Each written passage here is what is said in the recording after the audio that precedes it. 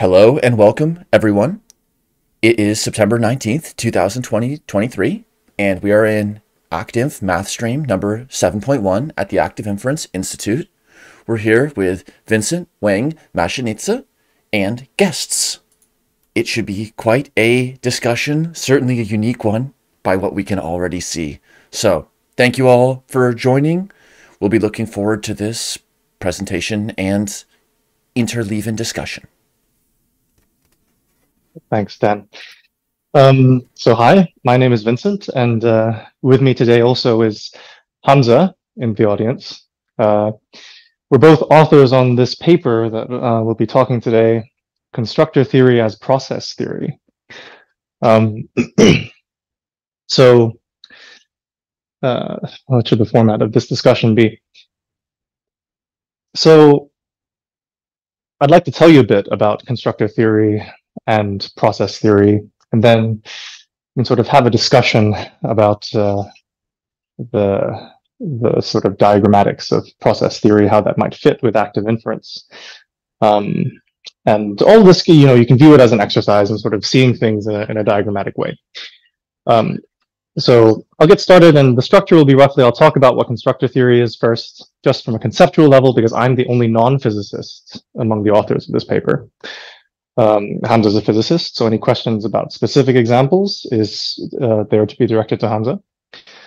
Uh, and then, you know, after that, I'm going to do just a sort of lightning fast introduction to what a process theory is, and then we'll put the two together, and then we'll have a discussion. And throughout, I will be making pauses to sort of invite questions and make sure everyone is on the same page conceptually. But everything should be super, super easy because uh, I think all the ideas really are, you know, fundamentally they're, they're quite simple. Okay, so without further ado, what is constructor theory? Constructor, that's a. So you may have heard of this already because there's quite a lot of hype. They have a they have a very good PR machine, if nothing else.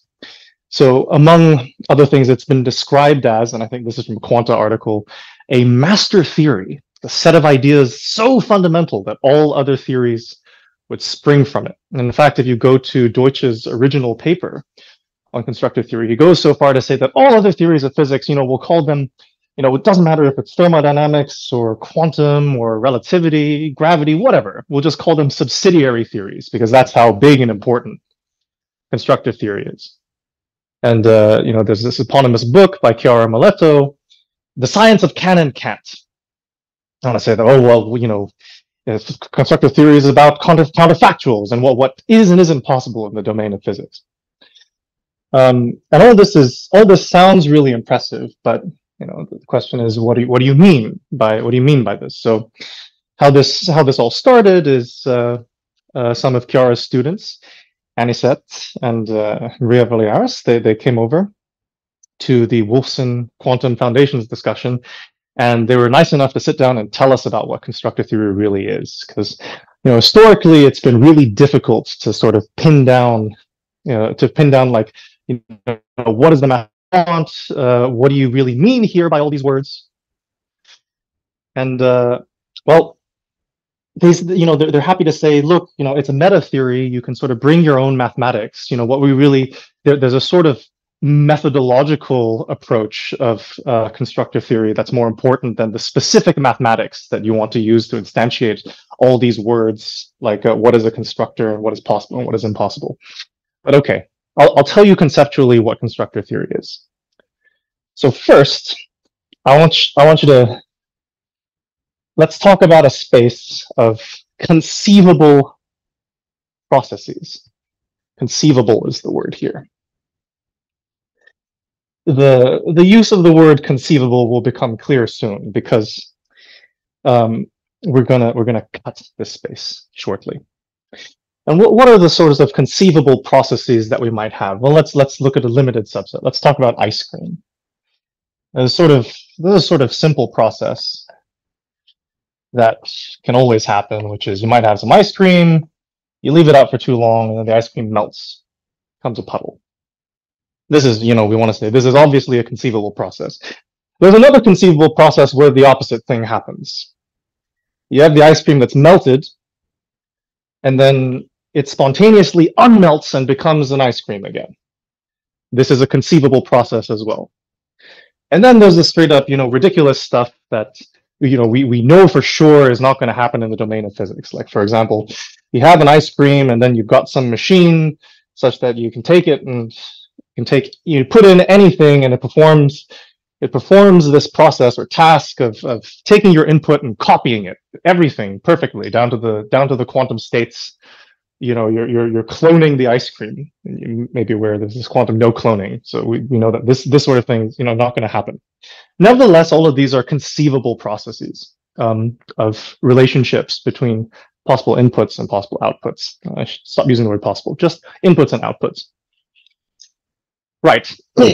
so what is the aim of constructor theory really well it stems from this desire to classify the space of conceivable processes into that which is possible and that which is impossible. Well, what might we say intuitively? We might say that, well, we, we're pretty sure that we're pretty sure that this, this ice cream melting stuff, that's possible in terms of some theory of physics that, that explains everything. Go, okay, fine. Like some theory of physics that explains what happens to ice cream, we definitely want to say that ice cream melting is possible. Um, and we definitely, you know, that theory of physics also has got to say that this uh, sort of cloning situation here, that's got to be that's got to be no good. That's that's impossible.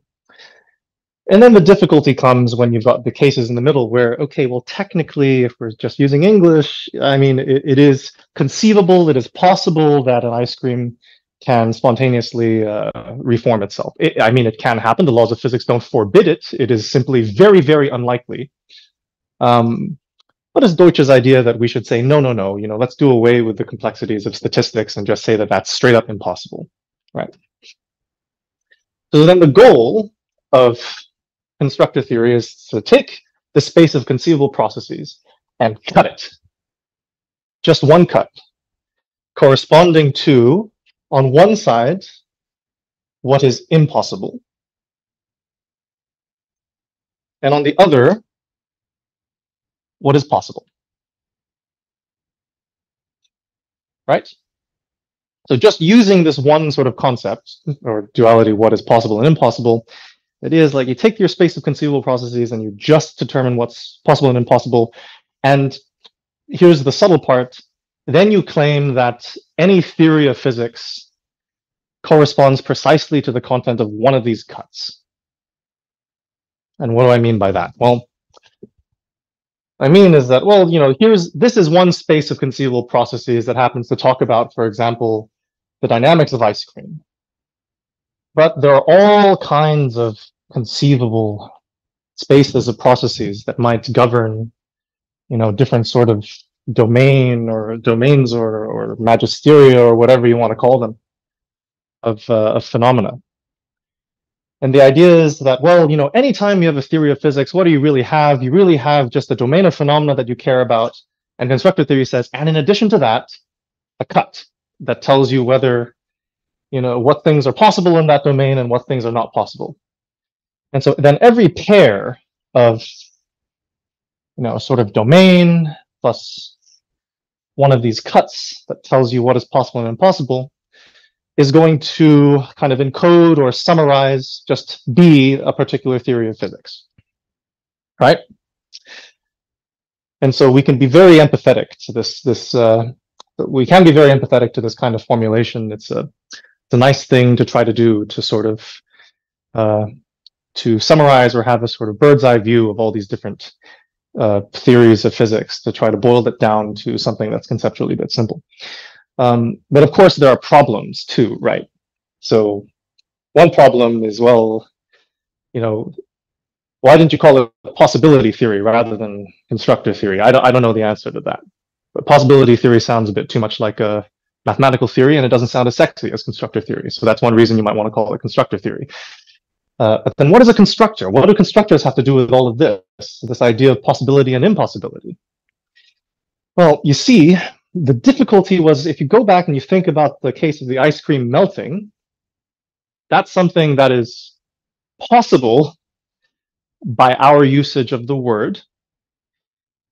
but you'd want to be able to stick it on one side of the cut and call that impossible, right?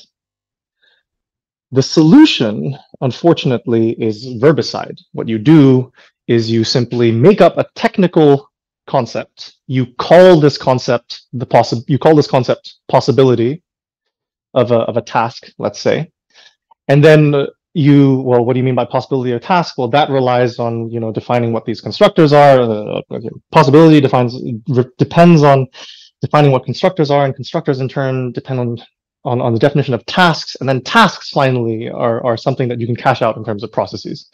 So this is, this is the idea of where constructor theory wants to go. And now I'm going to tell you how it is that constructor theorists get there, right? Uh, let's see. Do we have um, do we have any questions at this point? Any sort of conceptual questions or clarifications that anyone wants to?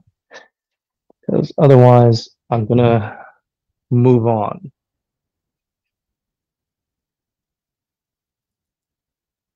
Where does likely or unlikely fit? That's all on one side of the line. What if something's vanishingly unlikely, but possible? That is an absolutely brilliant question. Um, and the answer is you get to choose as long as you make a cut, because so the dogma of constructive theory goes, you only get possible and impossible. I don't care how you pick how to distinguish the likely and vanishing unlikely. And I didn't make up the rules. I'm merely telling you that everything has to be either possible or impossible. Good question. Sorry, that's the best. that's the best I can do. Um, okay, so right. What is constructor theory? All right, it's a first, it's a meta theory. Bring your own math. The meta theory. What does that? What does that mean? That means bring your own math. Okay. Let's start from what is a constructor?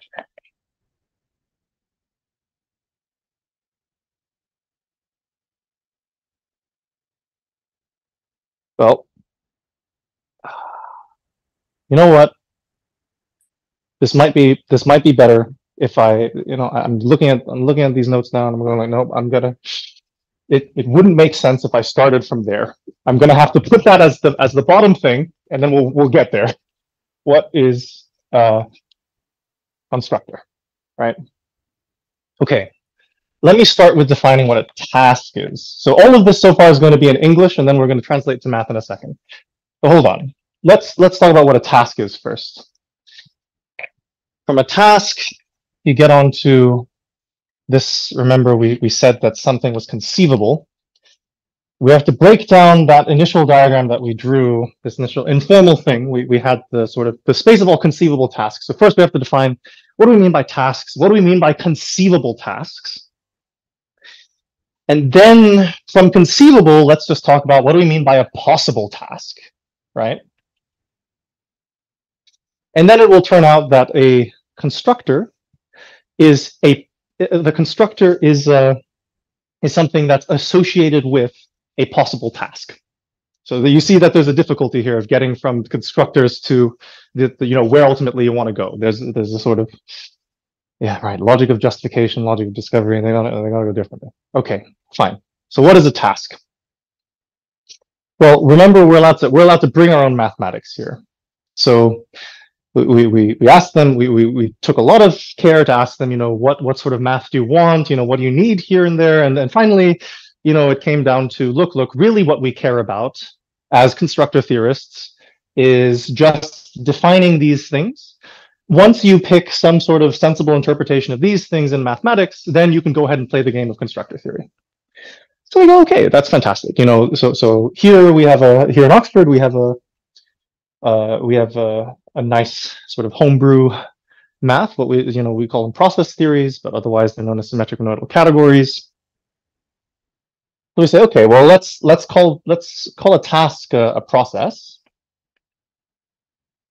A process in a symmetric monoidal category Okay, well, we'll get to what that means in a second. So what is a conceivable task? That becomes, well, that becomes mathematically trivial. It just becomes a process inside a process theory.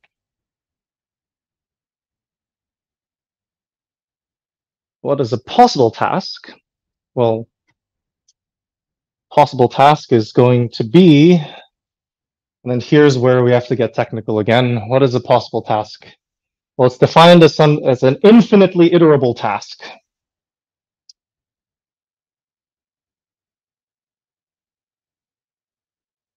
infinitely iterable, yada yada. Okay. And then if a task turns out to be one of these infinitely, if if a if a task turns out to be infinitely iterable, we call it possible. And a task always is doing something, and then there's something in the environment that's helping it do it. That something in the environment, this super ancillary thing at the end of this, these definitions is going to be what a constructor is. And at this point, it will be very helpful to actually go through an example.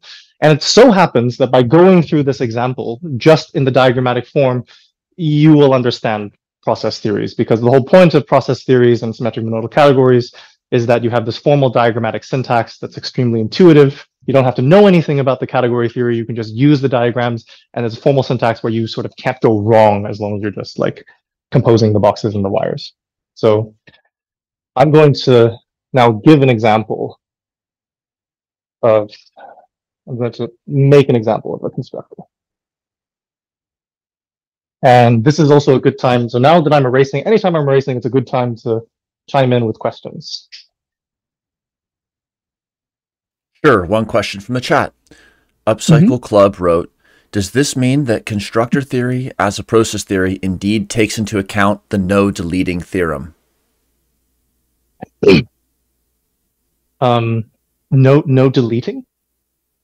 What do you What do you mean? I, am not familiar with. Not sure. No that's what was written, or maybe you referenced no cloning earlier. I referenced no cloning. Ah, so here's the yeah. So here's the nice bit. So earlier I drew a diagram where there are all these different blobs of different colors, and each one was a different uh, domain of physics or whatever, right?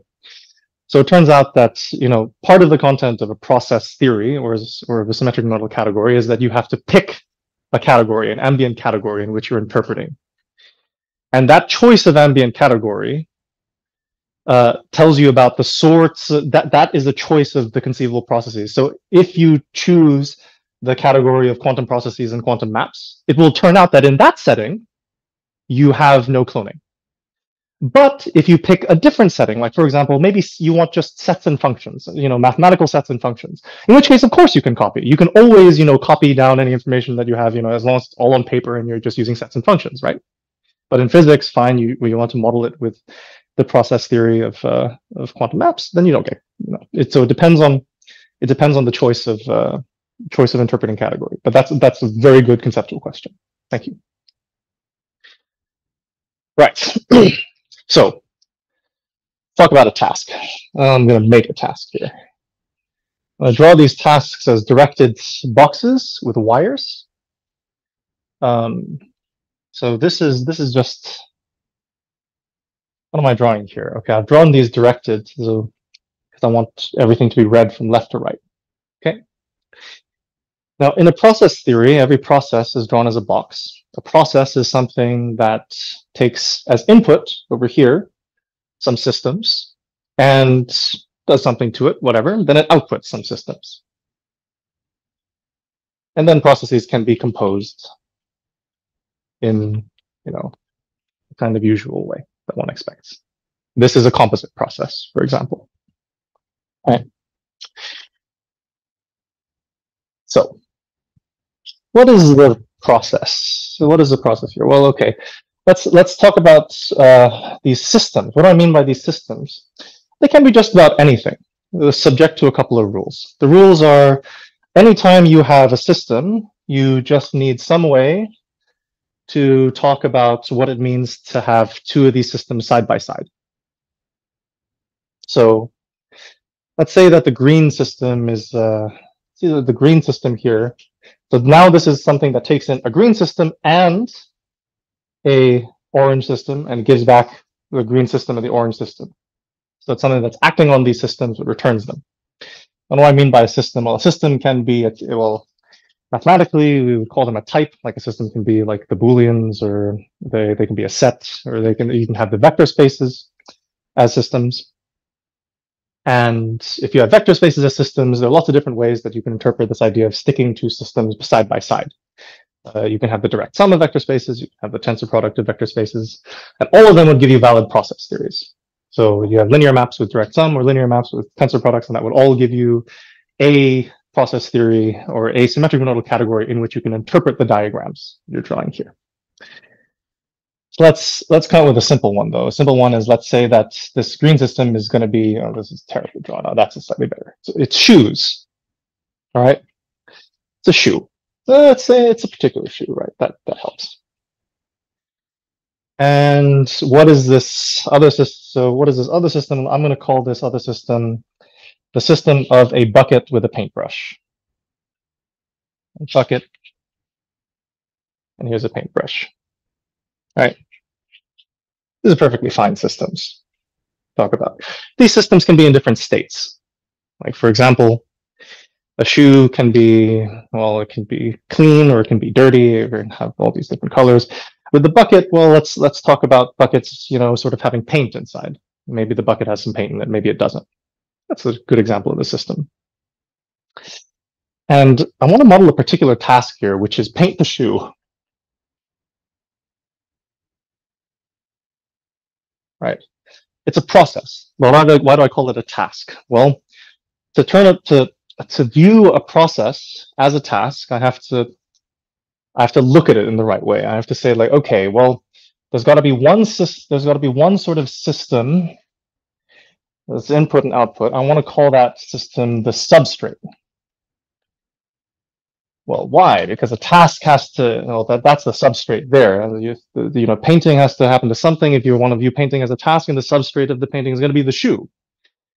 And what about this other, what about the, what about the paint? Well, the paint part, okay, well, that's going to be part of what we call just here. Everything else, that's going to be the environment.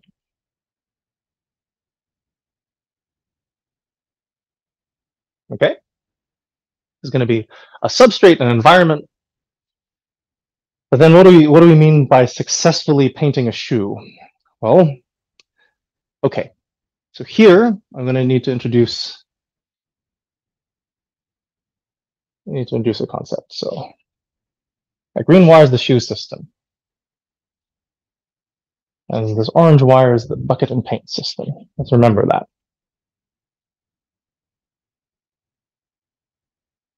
So now here's the new kind of process. Uh, maybe, yeah, yeah, I could draw this like this. This is fine. Here's a new kind of process. So I've drawn processes and you've seen the process at this point that takes inputs and has outputs. What about a process that doesn't take any inputs and just gives you an output? Well, those we call states. They're a special kind of process. In the process theory of sets and functions, or the symmetric monoidal category, I should say, of sets and functions with Cartesian product, states are elements of sets.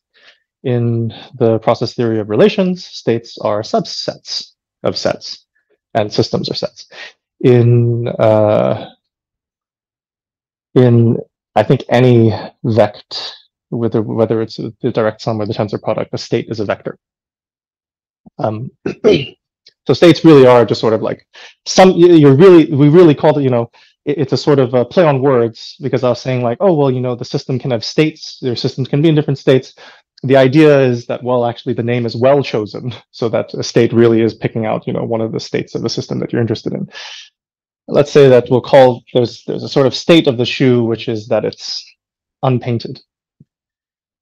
And there's a state of the bucket and bucket and paint system such that you got a bucket that's full of blue paint And what do I mean by the task of painting the shoe? Let's see, how much is visible? Oh, I've got all of that, all of the side over here, right? Now you will see your first process theoretic equation. So here's a shoe that's now blue. And here's a bucket of paint. That's now, it's got no more blue paint in it. So what we got here, let's say here. So here's full. And here, let's say it's let's say it's white. Starts off a white shoe. At the end, we got uh, painted. We have here empty. And this is a process theoretic equation. I hope you can see all the data that's happening here. Well, what we're saying is that, okay, look, if I've got as initial states, I've got like a, I've got an unpainted shoe, and I've got a full bucket of paint, what this process does is it takes the two systems, it views one of them as a, it just keeps track, it says, okay, well, this one's a substrate, and this one's the environment. And what is the result of applying that process to my two states? Well, then I have to end up with two new states. And those states are saying, well, okay, now I, I end up with a painted shoe and I use up all my paint. So now I have an I have an empty can of paint as another state. Is that clear? Because that's that's if you understand this, then you'll understand everything else I'm about to say. This is maybe the only this is the only conceptually difficult part of constructive theory as process theory. We, are we happy with this? If anyone's unhappy or has any conceptual questions, and now's the right now's the right time to ask.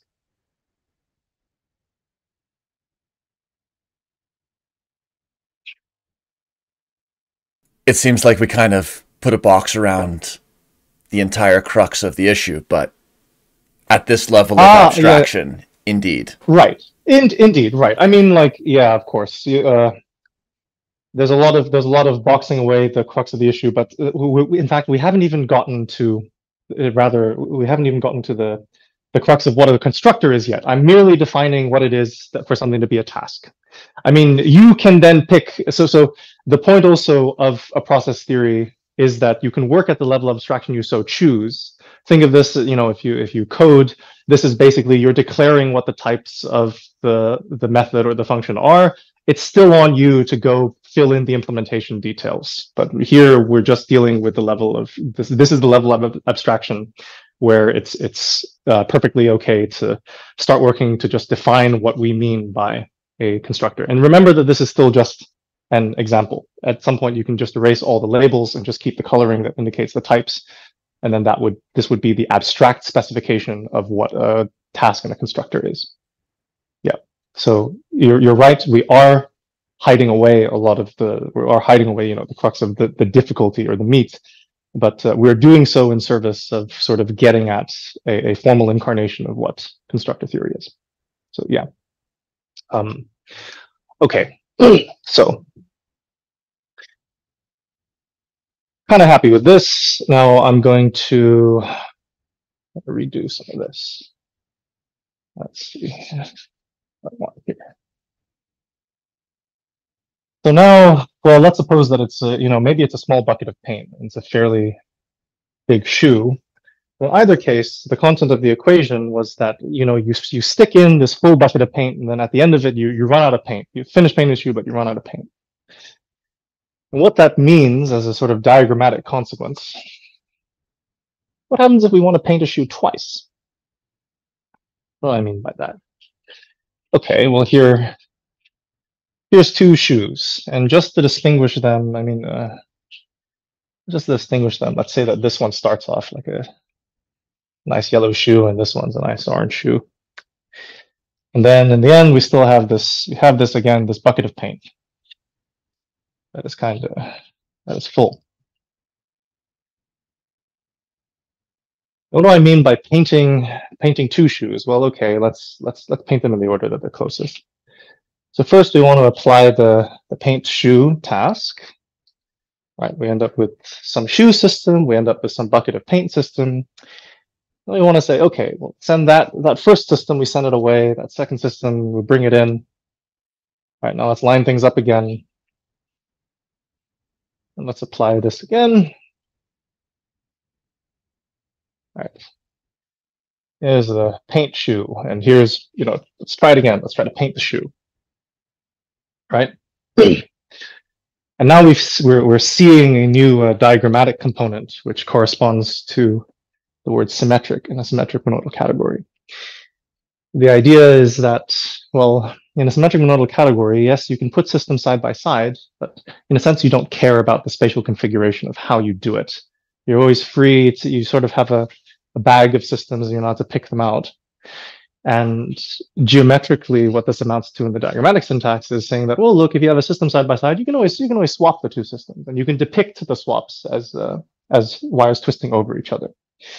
And the sort of the the difficulty of uh, or the only difficult content of a symmetric monoidal category is showing that you know the the way that the diagrams behave topologically correspond precisely to the algebraic content of of the the morphisms that are the semantics of the of the processes which means which which is to say that as long as you're tracking the connectivity and the connectivity matches between two different diagrams they're going to refer to the same formal entity uh, so there so it's really like a safe syntax to to use right but we can follow this, right? And this is the this is this is what I said. I'm I'm painting. I'm trying to paint the two shoes with one bucket of paint.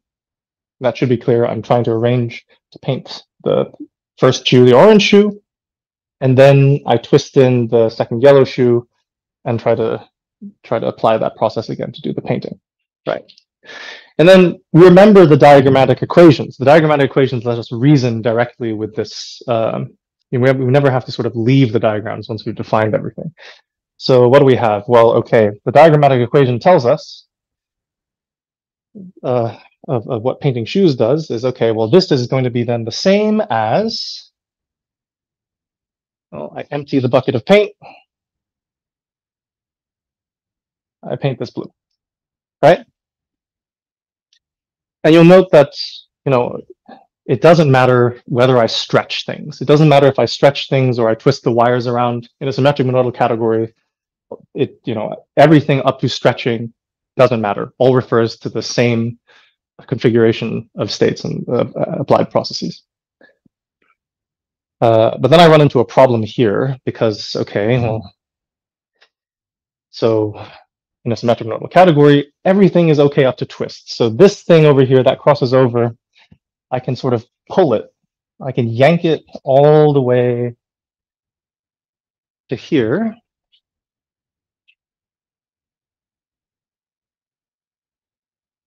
Right? And then what do I have? Well, what is this saying? I've just done these diagrammatic derivations to show that, well, I, I applied the equation that tells me that I can use a full can of paint to paint a shoe and then I run out of paint. And now I'm trying to apply an empty can of paint to a shoe that needs to be painted. And at this point, I'm stuck. I have no more diagrammatic equations to help me to, you know, get this into a simplified state from here.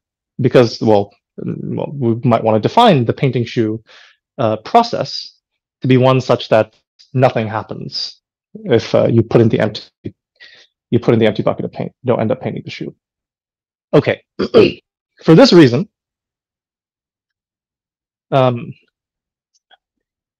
uh, not, not constructors yet. Let us imagine then that we had this magic bucket of paint. Now this is, I've cast a spell on it. This is a magic bucket of infinite paint. And the nature of this infinite paint is that it's always going to be full. It's always going to have enough paint to paint another shoe.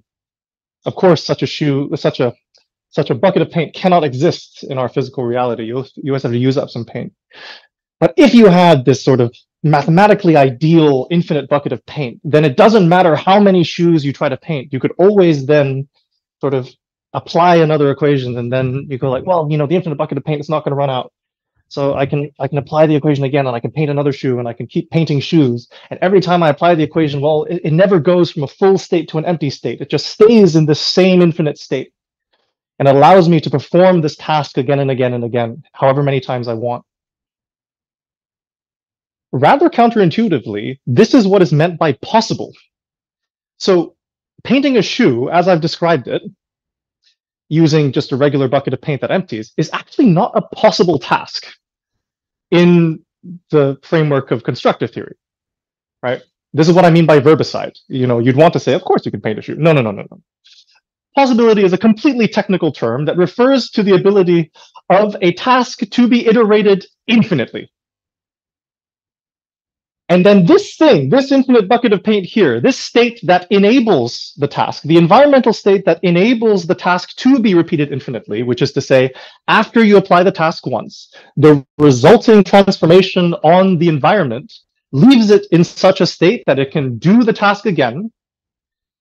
That thing is a constructor.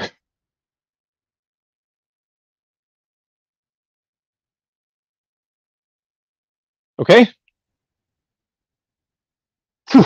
so, uh, gonna uh, move on to what's next. Uh, what is next? What is next? But this is a good time to ask questions. This is a very good time to ask questions. So I'm gonna... Muhammad, do you want to ask a question?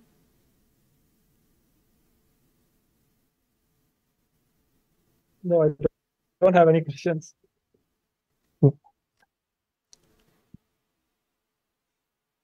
Okay. Um, well, why? Well, I, I suppose, uh, what else can I say about constructors here? Well, conceptually, where do constructors come from?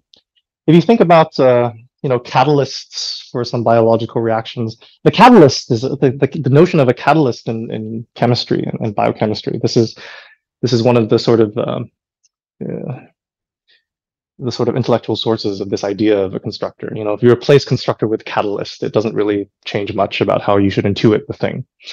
It's this idea that well, you know, you need it in order to help this help this uh, transformation occur, but then at the end you just get the catalyst back, and then the catalyst is unchanged, and you can go and, and participate in another uh, participate in another reaction. Right. So so that's this is the sort of idea of like what a constructor is. Um, okay, so why again is uh, what should I talk about here? We can talk about okay. We, we still have to get to this idea of the cut. So how is it? How is it that this? How is it that these uh, uh, having this notion now of a constructor helps us define what we mean by a cut? Yeah, that's it. Cut of possible and not possible. Okay. So what is a constructor? Okay. Let's, I'm going to rehearse one more time this, uh, but I'm going to simplify it. Uh, what I want to do here? Yeah, okay. And I have now this, this infinite bucket of paint, right? And I have, well, the shoes I'll get to in a second. Okay, so for whatever reason, constructive theorists really like to use the category of sets and relations. They really like to think of things in terms of sets and, and relations, um, which is a problem when you're trying to model quantum things, and we can get into that in a second. Um, how did this come about? Well, you know, the usual way, which is to say, when David Deutsch wrote his first paper, he said, well, you know, let's just, you know, let's take sets and relations as this sort of setting where we can start doing some calculations and we'll use it as a placeholder setting for now. And of course, you know, no one no one bothers to ever go back and change the placeholder, then it then the, the placeholder becomes a standard. So okay, fine. They use they use sets and relations. And then so the the systems in the process theory, we'd call them systems, but in the uh, constructor theory, we would call them substrates or the environments. They're all just going to be sets. They're going to be sets of they're going to be sets of and again, we're, we're, we're dying under the terminology here, sets of macro states. Why do we want, what's, what's this talk about macro states? Well, okay. I mean, like this is a, this is a deep constructor theory lore thing because they need to just, they need to talk about like thermodynamics in a second. Um, so why macro states? Because there's lots of different ways a shoe can be blue. You know, if you're really looking at it at the at the molecular level, you know there's all these different configurations and you know you kind of don't care and you want to say like well look all of them just count as blue as far as i'm concerned. We'll call all of that we'll call all of that the the macro state of the the shoe being blue. And then there's shoe being whatever other color and you don't really care uh, and then the job of this task job of this task here is just to take the macro states that are not blue and to turn them into macro states that are blue. And it must be so for, well, it doesn't matter if this is a set, that's going to be a set of microstates, macrostates. Turns out doesn't matter when you're working process theoretically. We show in the paper that like, look, there is this uh, there is this distinction at the mathematical level when constructive theorists talk about this between like a particular molecular configuration and the macro state of a collection, a sub-collection of configurations that are blue or whatever. But you know what we show is that look, look in this system, it doesn't matter. You can just work directly with the macro states because that what you, that's what you really want, and it turns out mathematically it doesn't make a difference. So what are we saying a constructor is? So here's a definition of a constructor. We're saying that this equation ought to hold. Right, what I mean by this? I mean by this. so in the language of, uh, in the diagrammatic language for sets and relations, you've got a special state and you've got a special something that's a co-state or in effect, something that only takes inputs and doesn't give you any outputs. What's this special state?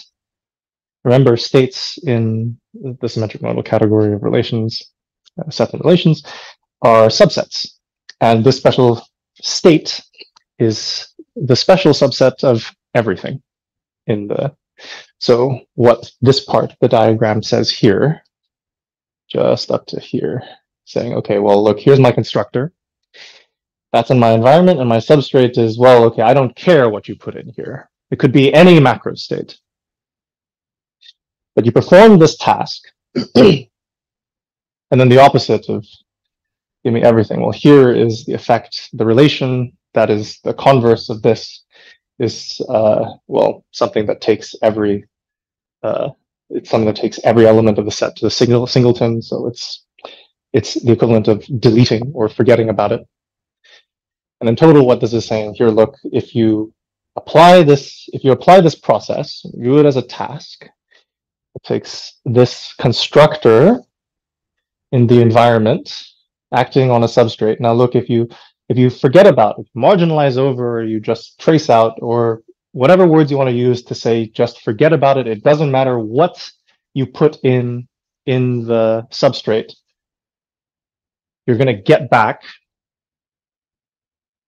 something that is good to go again as a constructor. And now, rather than equality, because we're working in sets and relations, and recall that these states are now subsets, we can say, well, look, if I if I give you if I give you a constructor, what I what I mean to give you here is a subs. I'm going to give you a a set or a collection of macro states that all work as constructors. Um, because of course the infinite bucket of paint might also have microstates. You know, the paint could be in different configurations, but they might all be equally infinite and good for the pro good for this task.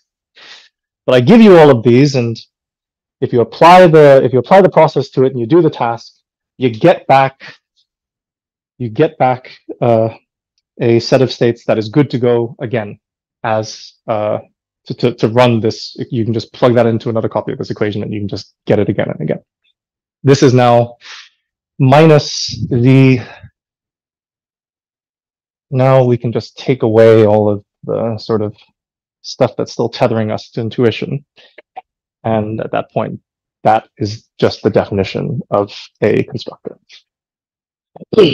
right. This is that that's a constructor. Yeah. Okay. So what can we do?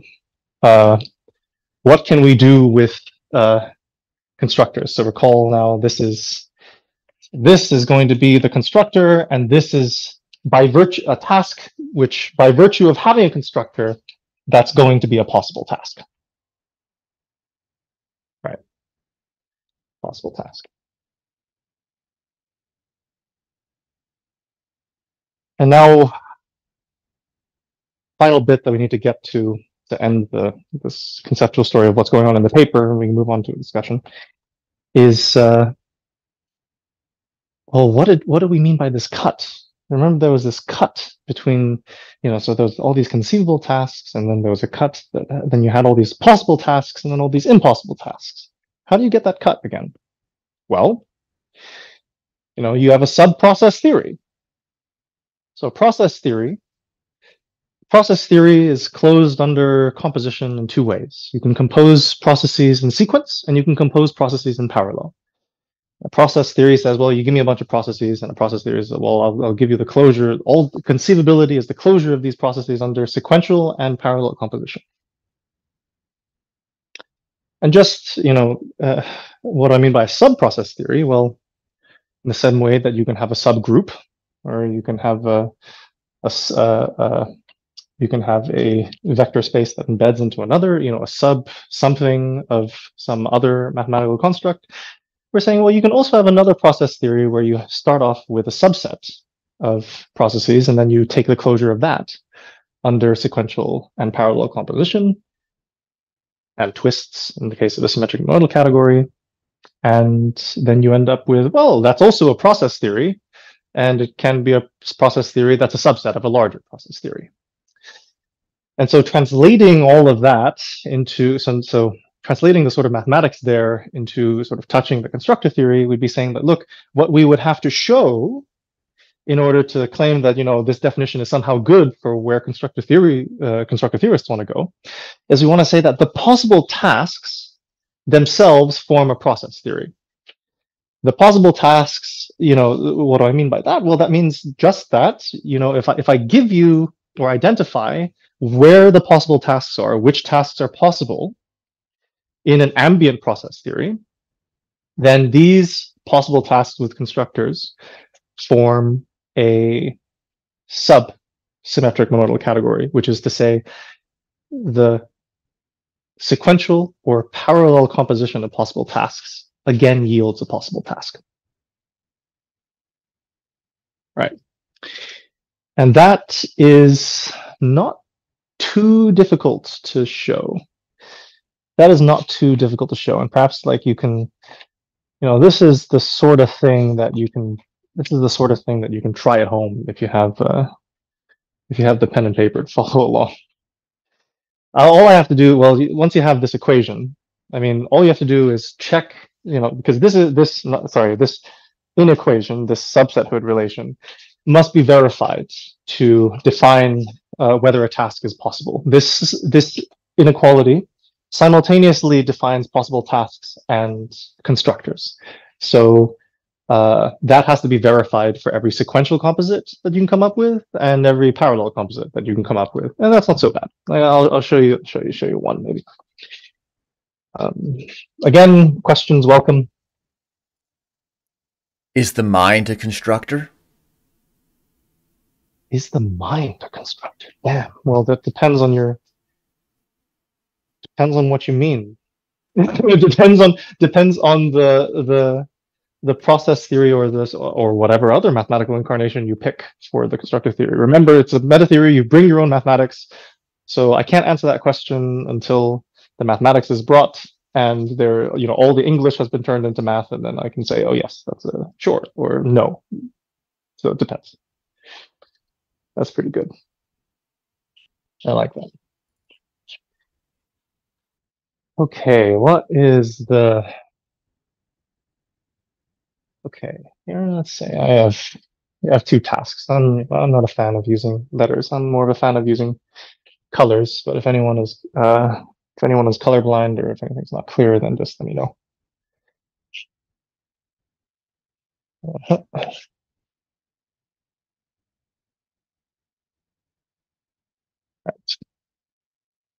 Maybe there's a different Yep.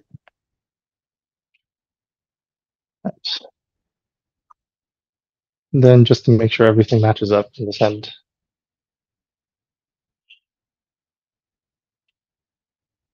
Okay. So here is how here is how we're going to sequentially compose tasks, right? Uh, this here is a task. Uh, task one, task two. Both tasks, they work on the same substrate. So for example, paint a shoe and then unpaint a shoe. Sequential composition of tasks, well, if you're going to sequentially compose, it needs to be on the same substrate. Otherwise, sequential composition, that's meaningless. And you might want something like parallel composition instead. So for example, you can compose the tasks which may not be possible tasks. So paint the shoe and then strip the shoe of paint. I don't like it, you know, do something else with it. Um, and here's how we will sequentially compose just conceivable tasks. If you have a conceivable task that's operating on this orange substrate, you need to compose something else that takes orange as that substrate again. But what about the environment? The environment can differ. Like for example, if I'm going to paint a shoe with paint versus if I'm going to, I don't know, do one of those elect, uh, electrolysis chrome dipping of a shoe to get it covered in chrome, the environment is going to be different, right? So for the first task, I have this particular for the first task, I have this particular environment. The second task, that has its own particular environment. Those environments are just systems. I say that, well, okay, if I'm going to sequentially compose, I feed in the requisite environment to do task number one, and then I twist in and feed in the requisite environment to do task number two, and then just to make sure that everything type checks at the end. This entire thing here, right? This entire thing here now, maybe it's better if I like gather these guys here to make it clear. Right, that's sequential composition. What is it saying? Right, you can always gather. Systems can also be composite systems that are placed next to each other. This entire thing says, well, you've got to give me the environments for the two different tasks and the substrate. Then I'll give you back the environments again for the two different tasks and the substrate. That's how we achieve the sequential composition of tasks. So these two small tasks, put them together just like this, and then you get this one big task, right? what about parallel composition? Parallel composition looks fairly similar. With parallel composition, you can compose whatever. It doesn't really Uh, parallel composition doesn't particularly matter. If I get this right here. So we got substrate one, yeah, or an orange. We got substrate two over here. I'm gonna do it like this. That makes things easier. I got environment one, and then environment two. And then those are your two tasks. And this is your composite task. Is that all visible from there? I wonder. Hopefully that's kind of visible from this. Yeah, fantastic.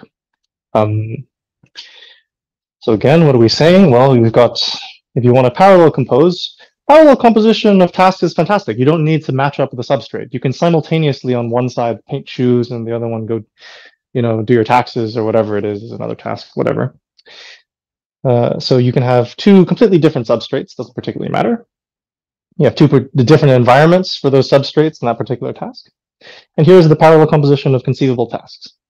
You know, same principle. If you understand sequential composition and uh, you're happy with just intuiting the twisting wires, then you're good. And now to verify that these guys are, um, so now that to verify that the composition of possible tasks is again a possible task. So now, now let's say that these guys are possible tasks. In other words, that there is a particular constructor for uh, green, and there's a particular constructor or yellow over here. Right. And remember to check the condition. And just delete those, right? So how do we go about verifying this? Well,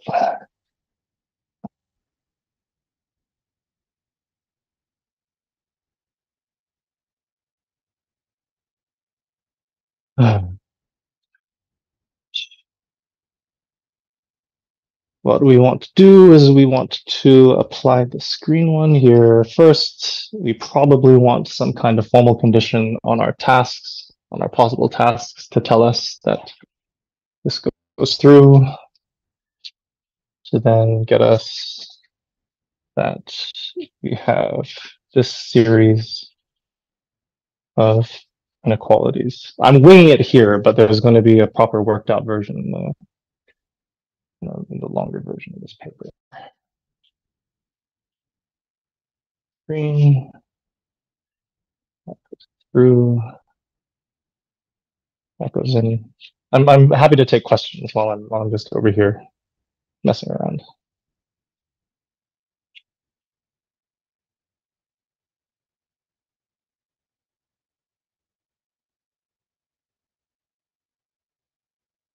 And then apply it again.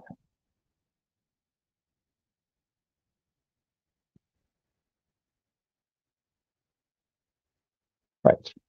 I think in the paper we do like one of these variations as well. The principle is kind of simple. You apply the equation that, uh, sorry, the in the the containment relationship that defines possibility on uh, on both of these one by one, and you also make use of the fact that well, there's the special state and that one that corresponds to everything and delete. You can pull those through as well uh, for tasks, then you end up with this, and then you go, okay, fine, I verified that this is uh, verified that this is a possible task, and then you do the same for parallel composition, and then you're done. Then you say, okay, well, if I I know that if I have sequential and parallel composition plus checking the twists, okay, that then I have another process theory, which means that my possible tasks form a, uh, a process theory. So what do I have? I get to say, I get to finally give, you know, mathematically formal voice to what a constructor theorist might want to do. So again, I have this first domain here. What is that? That is going to be this space of conceivable tasks that's going to be some symmetric monoidal category, which is telling me this is the domain in which I'm interpreting a particular process theory. And these, in this symmetric monoidal category, well, my conceivable tasks, they can compose in sequence and in parallel. And what do I mean by the cut? Well, the cut that distinguishes what is possible from impossible. Well, it turns out that the possible stuff, that is also a symmetric monoidal category. And that's a symmetric monoidal category that embeds into the larger one. It embeds in the same way that a subgroup embeds. It embeds in the same way that um, a, a vector subspace or linear subspace is going to embed into a larger one. And then everything else, well, then everything else is going to be, well, you know, no promises. This is not the sort of stuff, this is the, you know, impossible stuff is the stuff that doesn't necessarily iterate infinitely because they don't have constructors. And and if you followed along so far, um, and there's more details in the paper for if you want to like look up the formal details. Uh, you understand now constructor theory minus principle of locality, um, which is perhaps not interesting enough to merit uh, further comment. But um, if someone's curious about it, we can talk about it. Uh, but you know, so what I presented so far um, is uh, you know I, constructor theorist would also be happy to say yes this is constructor theory minus principle of locality. So you don't go around telling you know saying that this thing is just constructor theory to a constructor theorist because they'll get mad at you and they'll say no no no it's missing the principle of locality. But that's a dogma and you don't you don't particularly need it. Like that's it, it messes a lot of things up. Okay so that's that's all i have to say for now i think and uh yeah happy to take it to a discussion now.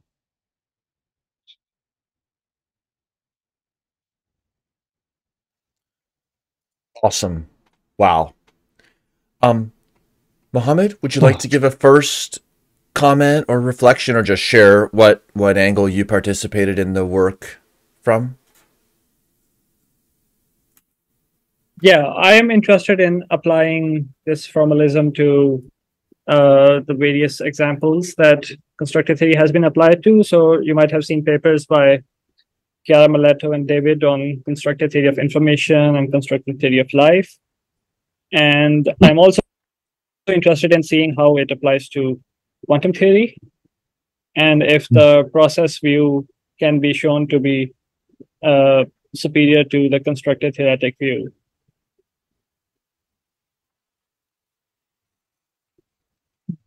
Cool.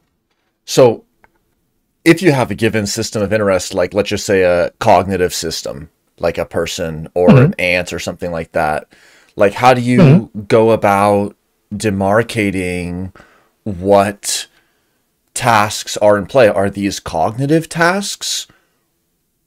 Or are these the tasks that the body performs? How do we begin to, to Mhm. analyze a situation in a way that's amenable to, to being framed like this?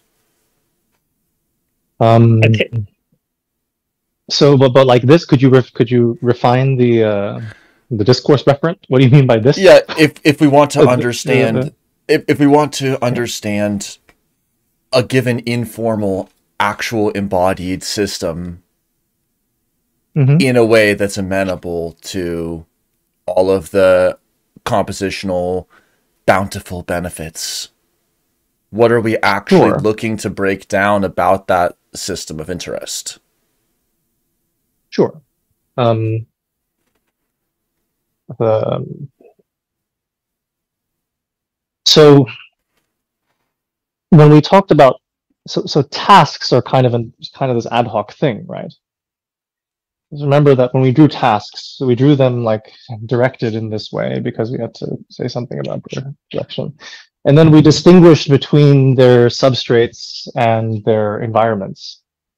And then we said that uh, systems are always these things which sort of have, their, you know, sorry, the task is something that takes in the system and the environment and returns to the same system and environment, which is which is something that you you can just accept, but also, you know, in general, a process doesn't need to have the same inputs and output types. So this is, you know, this is perfectly fine as well. You can have a process that's shaped like that, and maybe for some sorts of, you know, at the whatever level of abstraction you care about, um, it might be more well. Maybe there's maybe there's level of abstraction where you don't care about the actual physics of what's going on, where everything is sort of like uh, conservative on some level.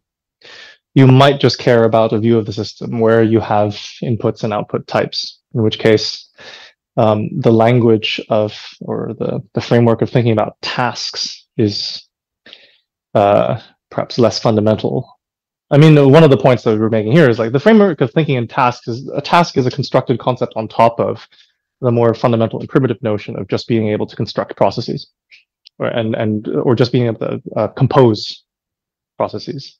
So then it would depend now on on what you sort of want from um, your notion of task. So what we, what we were able to show is that look, just using the language of process theory, we were able to encode and formalize this particular notion of what we want tasks to behave like. Um, but then, depending on what you would consider a task to be, maybe the same, maybe different, um, you can encode it in this in this mathematical language, uh, and then start reasoning about it in a diagrammatic way. And there's a lot of things you can reason about in process theoretic. There's a there's a there's a laundry list of them in the paper, like electrical circuit theory, quantum theory, most notably, um, linear algebra, first order logic. Yeah, it's all good. Um, maybe that's maybe that's not quite a satisfactory direct answer, but perhaps we can refine the the question and the and the target. So to add to add to it, uh, it's up to it's up to the modeler or the user to decide which processes are to be modeled. So you can, I mean, if you want to, if you want to think about cognitive processes, then you are, you know, you can create a subsymmetric monoidal category to work with that. But you can also have uh, more mechanical process theories, or it can even have one where both mechanical and cognitive processes interact. So it's up to the model, I would say. There's no hard and fast rule in the formalism. it's the shoe painting factory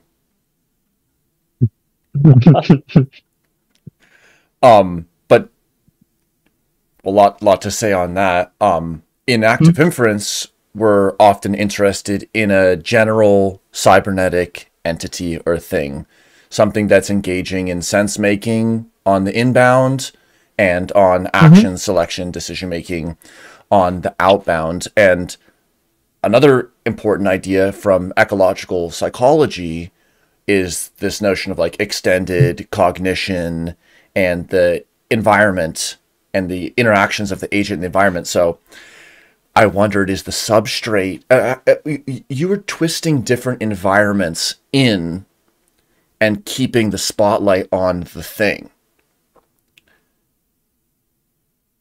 I- Is that Mm. how you track an entity as things change around it? Is by twisting in and, Um, and out different contexts or Uh, right. Um, so that um, that is just the way for that is just a way to define a to define to, to define uh, the sequential composition or the parallel composition of tasks in a way that relies upon a more primitive notion of the sequential and parallel composition of processes. So the, the twisting in and the keeping a spotlight on a particular context. So so one of the things that so one of the things that we've seen um, that, that you, you- we've all seen in this uh, in these examples is that uh, you can start with a process theory of like basic uh, processes that just compose in sequence and in parallel, and then you can define a new way to compose in sequence and in parallel on top of that. And that would give you a new symmetric monoidal category that would give you a new process theory. So so you can kind of yeah yeah this is so this is process theory kind of there's there's a dog food thing here somewhere where you're kind of eating your own dog food right? Um in the case of the the twisting which was what was the twisting again? Case of the twisting, we were saying that, okay, well, look, we're going to define, instead of just plugging things together, we're going to define a new kind of, uh, we're going to find a new kind of uh, sequential composition that looks like this, where instead of just taking two boxes and joining them together, we do all this other, we do all this other business over here. Like this is, this is this other business over here, right? Right. Um, that's allowed and good and expressive but that's also something that the mathematics has no stance on like if you so you you brought in these concepts like this is how you're spotlighting a particular substrate and keep and switching out the context right? And if you look at the diagram it's perfectly okay to start pointing at these things saying well of course you're spotlighting the substrate and you're switching out the context. But that's on you. That's on you. The mathematics just just tells you like this is a way to compose in sequence, um, but it does so nicely enough in a way that's you know where where this sort of uh, the sort of we can we can bring our linguistic intuitions to bear on the situation in a in a much more direct way because we have the the visuality of it available to us. Yeah, that's very deep. The necessary and sufficient conveyance is on the blackboard. Mhm. And then that Yes. enables us to take perspectives and direct attention and have um, procedural flows with our attention and tell narratives and and again have interpretations but the mm-hmm. interpretation isn't what's written on the screen Yes. Yes. Yes. All right, a question from the live chat. Can you mm-hmm. please explain in what way does that cut, I believe, between the possible mm-hmm. and impossible, allow Yeah, the yeah. modeler to express emergent phenomena or laws that arise from the underlying processes in constructor theory? Emergent processes or laws that arise from the underlying.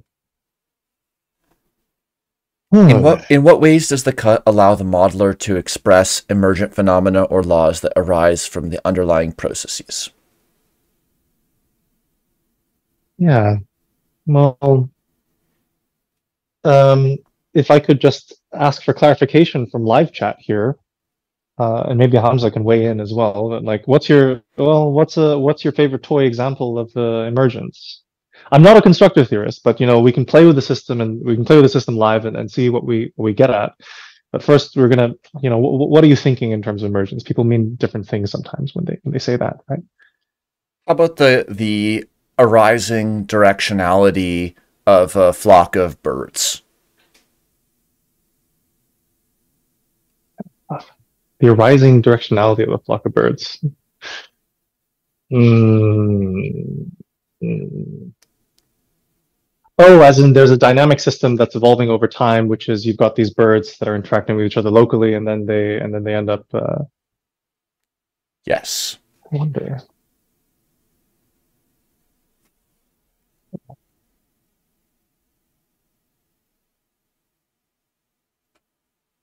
Would these so I think the safe answer or my, my intuition would say that the vast majority of things you would consider to be possible are not actually technically possible in constructor theory, right? So right off the bat, you can say, look, you've got this intuition. So, so if you thought painting shoes was a fine, sensible thing, and you think that birds flying around and interacting with each other is a fine, sensible thing, that's possible. That probably isn't what is meant by possible. So so in the case of like a in the case of like a bird system, you've got this massive interacting system. Fine, a constructor. A cons- you know, you probably could have like a sort of infinite shotgun constructor that just stops all the birds dead in their tracks, again and again, and you can you can kill as many birds as you want. What would a constructor for this sort of system be? Well, if you can set up a if you can set up an environment that sort of steers the birds a possible task maybe for a chaotic system the only possible task is the trivial one where you don't expect anything to be done and you accept any sort of outcome.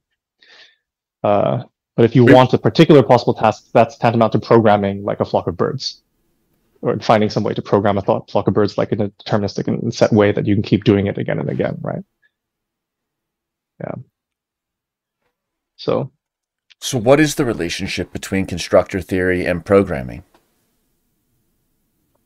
um, there's that's a pretty good question. Um, I'm going to try my best to answer on behalf of constructor theorists here. Um, but there there's this uh, there's a sort of there's an information theory or a, or, or perspective on information theory that also comes about from constructor theory. So as a as a math and computer scientist myself, I'd say that perhaps the most fundamental uh, point of contact between constructor theory and programming is in a notion of information and what in particular you're allowed to do with it. So in a quantum setting, you cannot clone information. I mean, your information is carried in your qubits and you have no cloning, so you can't, you can't clone information. Um, whereas, and everything's not, everything that's not classical, you know, the technical terms say, well, everything's not quantum, you call it classical. In a classical setting, you can copy information. You can write down a one or a zero on a piece of paper, and you can get someone to copy down the one and zero as many times as you want. You can stick the ones and zeros into filing cabinets, and you, so and by so doing, perform computation with copying. So the difference there is well, okay, um, if you've got different sort of underlying capacities for copying things and, and not being able to copy things in your underlying process theory, um, what is uh, I guess the sorts of there's questions to ask about the sorts of programs you can write, but that's kind of kind of at a, at a, at a much more fundamental level. I mean, constructor theory. If you if you gave me a if you gave a particular process theory of programs, then we can start talking constructor theory. Um, constructor theorists, so I think by and large, are more interested in the physics, which is at a much lower and more basic level of abstraction. So I, I don't know when you're so when you're asking about like is this you know is this a get rich quick scheme when it comes to emergence is this a get rich quick scheme when it comes to you know programming and understanding chaotic behavior et cetera et cetera you know sorry but the answer is no like there's there's nothing the extent i mean if you can under you understood the content of constructor theory in about like an hour and it was all pictures like there's nothing more complicated than that everything else beyond that is you hallucinating interpretations onto the pictures it's a get epistemically rich, quick scheme. You just gave yeah. a seminar. Get epis- yeah, yeah, yeah, yeah. Get epistemically rich quick. You know, you've got the pictures and they're very suggestive, but the, you know, in, in principle, it's no different from like a, a tarot reading. You, you've got just a very suggestive of mathematics, and and you can read whatever meanings that in you want. And if you play with the mathematics, you can also get some meanings out. But you know, you only get it out as much as you put in in terms of like uh, epistemically weight-bearing interpretations or hallucinations in the first place, right? Well, it's an interesting date with constructor theory and process theory and active inference, none of which are opinionated in the last mile about any given system, but all of which are providing us higher levels of expressivity and Mhm. increasingly in active inference category theory is being Mhm. used to represent the kinds of generative models that are used and so there's the math and the analytical equations and then there's Yeah. the kinds of bayesian graphs that we've traditionally looked at the partially observable markov decision processes Yeah. and then in the last years there's some Mhm. string diagrams and all these other features coming in that are helping like expand Mhm. the scope of what kinds of cognitive models and the relationships between substrates and cognitive processes that we want to explore.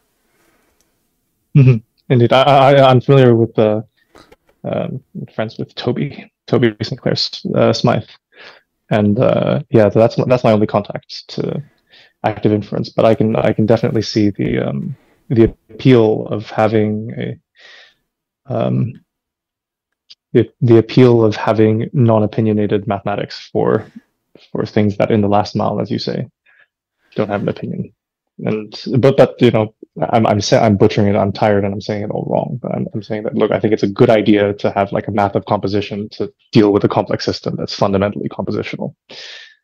Yeah. Um, So what do we what modules do we load in or what do we bring in in our environment to be able to to load up and actually use? So when you said bring your own math that was right at the beginning so it's like okay what do I bring? P- Peano's axioms or what do I bring like my f of x? Or w- what do you mean by the mathematics that has to be brought? Okay. Um, so when it comes, so so the the, the sort of uh, basic, uh, the, the the the core module that that you sort of get with process theories is a theory of composition that works for uh, anything that you can name processes that act on systems, and these processes can compose in sequence and in parallel. This is the this is the sort of basic conceptual map that you get and becomes gun to head formal when you load it into a process theory. That's that's what you get that's core. And then everything else uh, is actually expressed like sort of in terms of the in terms of the diagram. So for example, this Peano's axioms, right? Um, let's talk about the what is it? Nice. I forget what the axioms are, but I know that there are two generators. You've got a zero, you got a zero state, and then you've got a successor box. Right. And maybe the first thing that you want to do if you want to actually, well, you want to load in um, anything that you can express at the end of the day in terms of algebra and symbols and equations is also doable um, with also doable like diagrammatically. Like for example i believe that in the Peano formulation the addition operation is something that sort of uh, that behaves like a homomorphism with respect to or like a module with respect to the successor box so something like um, I think something like this is right. yeah so it's if you have like an the, equation the, like that, that the axioms are proto procedural in that they Mhm. define exactly what can and can't be done. Indeed, indeed. So the the sort of benefit of thinking in a or let's say depicting in a process theoretic way is that well, look, if you're more used to talking about processes and how they interact, and you you don't really care, you don't want to you know spell out from the bottom up how they're implemented and do a sort of calculation with like the specifics. What you really just care about are the operational constraints of how they compose and behave when you compose them together. And you can express them in terms of equations or containment relations or whatever else. Then the process theory is much better. As opposed to, for example, just dealing with the sets, you know, the, you know especially if you've got like a very complex system, then, you know, no hope. Mm. Again, to these two key features of cognitive mm-hmm. systems, like the sense making on the inbound mm-hmm. and the, uh, the associated world model, and then the action selection. I I thought about the first blob you drew with the conceivable. That's like mm-hmm. well, you drew the lines, and we have the rest of the blackboard. So it's like we know that there's unconceivable, but that's that's the scope of the sense making for a given mm-hmm. setting, and then the the line between what is possible and what isn't possible is is what is actionable and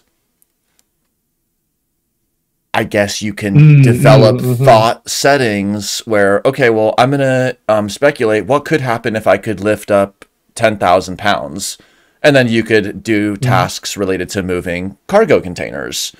Whereas if you mm-hmm. um, were using tweezers and you defined mm-hmm. what was possible with with a different threshold, then there'd be different kinds of plausible tasks. And yeah, so yeah, so for for a sort of what what might interest you is well, I'm going to shill it now. Why not? I've got some time. My interest for this sort of reading is that well, for constructor theory, you know, it really just wants to force you on one side of a binary, and this may be too restrictive, you know, in terms of expressive capacity when you're trying to especially map it onto something that involves anything as complex as the distinction between cognitive and physical tasks and processes, right? And and we had questions to this uh, to this effect earlier as well. Like, what do we do with the likely? What do we do with the vanishingly unlikely? What do we do with the plausible? Right? How do we? So I want to point out that, and this is something that's coming in the longer version of the paper, is a is a relationship between um, uh, constructor uh, constructor theory as a special case of resource theories. So, you know, this idea that you have to, with the constructor theory, you have to either go like infinitely many times or, you know, infinite or bust. A resource theory is sort of going like, yeah, but, you know, we'd be happy also if we can do it a couple of times. we'd be happy if we can, you know, tell me how many times you can do it. You know, that's pretty good. And so, you know, resource theory and principle give you this idea of like, well, you know, here's the sort of things that you can do once, you can do twice, that you can do three times, you can do, da, da, da, da, da. and finally, you know, in the in the very very core over here, you know, that's the sort of stuff that's picked out that's the sort of stuff that can be picked out by a constructor theoretic cut in the limit.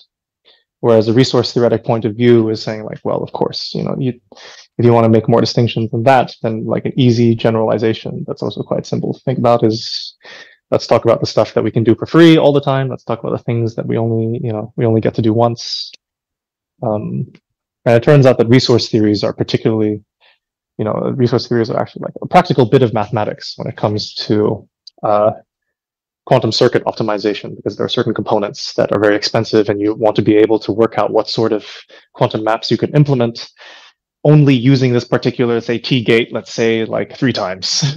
Or maybe you get like one extra one or maybe you get like two less and then you know the resource theory is going to tell you precisely you know what your gain and loss in expressive capacity is when you have more fewer fewer or, or more resources which is something that is a very computer sciencey down to earth practical thing as opposed to just the distinction between infinity and and everything else that the constructor theory gives you that sneak peek for for something that's coming the, the next the next installment or the extended version of this paper that's going on arXiv. that is super yeah. exciting and relevant certainly organizations or any other kind of system that's being designed and having an ability to handle the finite. Um, mm-hmm. Very relevant. Here's one other kind mm-hmm. of speculative question. So, of course, yeah. we had the, the ice cream melting and unmelting. Yeah, Now, yeah, yeah, yeah. You had the ice cream um unmelting as impossible, Yeah. but of course, Yeah, yeah, in, I- in yeah, a freezer, yeah. in a freezer, it, it does happen, and or at room temperature with a reversed time Indeed. arrow, and so Yeah. within this notion of the um, Gibbs free energy, we have catalysts like Mhm. protein enzymes, which are not able to enable what isn't possible, but rather they can accelerate by Mm-hmm. reducing the activation energy and they can accelerate a negative delta G and they can accelerate something Mhm. that is possible catalytically, hence catalyst, and be regenerated Right. and it Right. made me think about the change in variational free energy as the ball rolling downhill cognitively and about how the the channels and the landscapes of the mind or of the cognitive system um Mhm. sometimes the landscape is changed and what is possible becomes different. But just because something's possible doesn't mean it's ever reached and then we still need this question of the catalyst to actually implement and get it to where it can be Right, right, and and I, I think that perhaps one of the uh, not- one of the sort of intuitive appeals of constructor theory is that you know at first glance and with an intuitive mapping of concepts this sound it's constructor theory sounds like the right kind of mathematics to talk about you know these these interactive concepts that you're talking about the, the free energy and catalysis as enabling but the caveat with constructor theory, remember, is infinite robust hard binaries, which means that if you want to do so, like, I'm sorry to say, but if you want to do anything that's remotely nuanced, more nuanced than like a pair of qubits interacting, which already, because of principal locality, gives constructor theorists a lot of pain. constructor theory is probably not the right system for you. Process theories, though, if you want to deal with composition, not bad. And especially you, you know, you get a you get diagrams for free, and also you get other add-ons that are very good at doing the sort of things that you want to do. Let's have the right uh, expressivity and shape, like resource theories. Constructor theory, one should think of as a particular way or met- methodology uh, that's designed for a particular problem to be a meta theory of physics in in whatever David in whatever David Deutsch considers to be like a sort of conceptually clean setting of just being able to make a single cut to tell you about like to, to distinguish in a black and white way all of all of physics. interesting and in the bayesian mechanics which is Mhm. some of the recent developments in uh, active inference and free energy principle area Mhm. that Yeah. grounding of physics to i guess what we want to call physical even though we know that so many asterisks have to be added when we knock on the wood and everything like that. But Mm-hmm. if the physics of cognitive systems can be described purely informationally then we can have a procedural compositional cognitive physics that would enable us to do anything from the mind conceptualizing that the shoe could be a different color to the multi-agent setting and composed across individuals and there's just there's there's more walls to paint on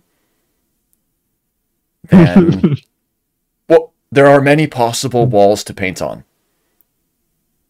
Yes. um Yeah. I'm. hmm.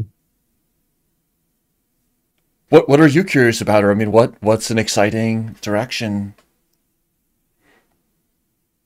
Um, in terms of uh, in terms of what exactly? Because in, in terms of uh, this whole business with constructor theory, this is kind of a side project for me. Uh, a, a fun one, but, uh, but just a just a side interest. Um, What's your The- what's your main yes, interest or what what motivates or what excites the context such that this could be a side interest? Um, well, uh, you know, my, my main interest is, is more, uh, I suppose it's more aligned with, with this notion of sense making. Um, my my interest is sort of uh, using diagrams not only for sense making but as a formal uh, platform to you know articulate theories of what sense making might be so i played around with so these diagrams that you know they're good for quantum for example but the same kind of mathematics is quite good for other sorts of composite you know there, there are other domains not just for example psychology that are you know dearly in need of some sort of uh, compositionally native approach like diagrams, like linguistics, for example. Um, so um, I like to draw language, and uh, because language is a particular tool of sense making, and then to formalize the the kind of sense making that we make. For example, when we you know, we use we use metaphor to like to get the point across relies on a complex metaphor where information is stuck into uh, words as a box and then the box is moved across a conduit and this sort of sense making um, is beyond the merely, let's say, truth theoretic, uh, yet nevertheless is systematic in a way such that the compositional aspects of the language precisely map onto the compositional aspects of the domain of sense making. Um, and I suspect that's where uh, we might have more to talk about. Um, because, you know, sense making is I consider sense making. It's, it's a it's you know capital S. Very it's a it's a very big thing and perhaps like the important activity to understand. Um, and I'm interested in the systematicity of it, and in particular, trying to depict that systematicity. There's something uh, there's something that's you know direct about the about string diagrams in the same way that perfume or music is sort of direct. It, it's not mediated by the, you know, by the by the rows of Greek and the symbols, right? So, I don't know. Maybe maybe that's, uh, yeah. Wow, there's a lot there. Can we say that the the screen is the substrate that we're writing language on if we're going by hand with pen? and then we have an infinite pen and this is mm-hmm. this is the inexhaustible pen and then mm-hmm. That certainly does seem to be one thing at which the yeah yeah yeah i mean you mean to refer to the, in the context of the mind we have a i mean as long as we're not aphantasic we have a sort of theater of mind that's sort of infinitely refreshable paper or infinitely refreshable uh, stage for us to arrange things on and and and sort of re- replenish the representation. That that does sound kind of like a constructor. If we're if we're happy also to sort of uh, uh, sort of rule out Her- Heraclitus or Heraclitus. You, you mentioned Herac- uh, Heraclitus earlier.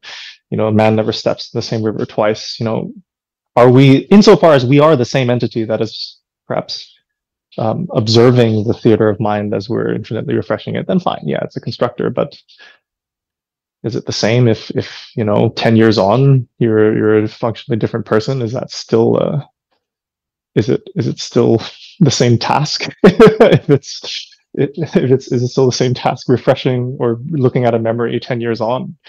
I don't know. Yeah. The eye is able to to nest subtasks. However, it may mm. not have the awareness to know what it is embedded within, but at least within mm. this internal theater, mm-hmm. it can make a sub representation mm. that it believes could be wrong, but that it believes mm-hmm. would have continuity also beyond itself, mm-hmm. But also not saying what is beyond itself. Beyond itself in in in what sense? Um, like there's the uh, environments that um mm-hmm. one is confronted with and then one could at least suspect that there are other environments that one is not being confronted with but also know that mm-hmm. they can't say anything more than that about environments that they aren't being confronted with.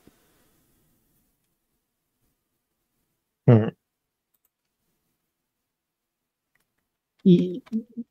Yes, I, I,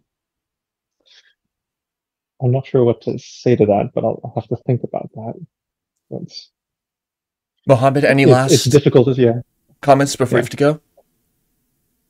Um, no, I'm I'm pretty Oh. good. Um, just I'd like to everyone to know that the, the a longer version of this very paper is uh, going to come out soon-ish on arXiv, where uh, we work out some more examples. We relate constructor theory to resource theories, and everything is going to be very readable. So if this condensed uh, journal version is a bit technical and difficult to follow, watch the space, and there's going to be a, a longer and more pedestrian version that hopefully everyone can follow.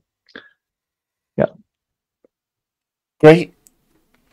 Thank you both for joining. Hope Yep. to um see you again. It's a very exciting and evocative line of work.